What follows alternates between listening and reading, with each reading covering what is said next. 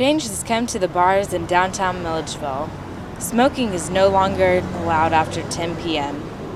Bar owners and managers are adjusting. Well, so far it's going pretty well. Um, I'm, I'm impressed with not only how the restaurants have immediately complied and been happy to comply, uh, but I'm impressed at uh, the customer base, particularly the younger crowd, who is more likely to be the ones in these establishments at late night hours. Uh, actually, surprisingly smooth.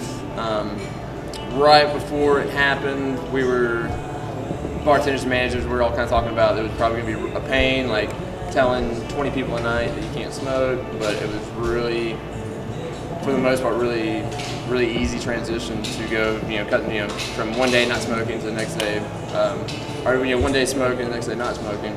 This has been very easy. And it really hasn't caused a problem so far. So as long as everybody's doing it, I'm totally fine with the law. But it's, you know, if, if anybody else were not to do it, it'd be, you'd have an unfair advantage. So, but it seems like everybody downtown is doing it, so I don't have a problem with it at all. Downtown restaurants that turn into bars at night used to allow smoking after 10 p.m.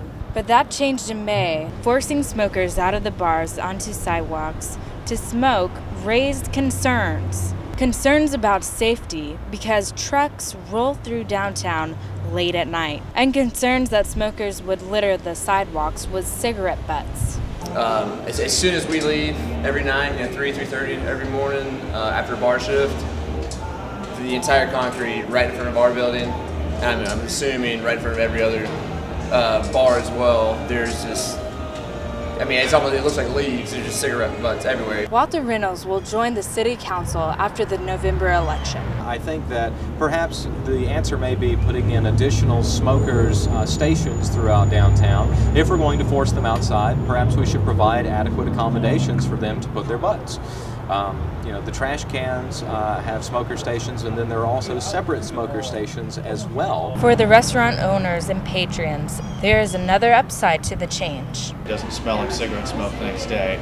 It doesn't take all day to, to air it out just to be that way again. It seems to be cleaner in here now, so overall, yeah, I mean, I like it.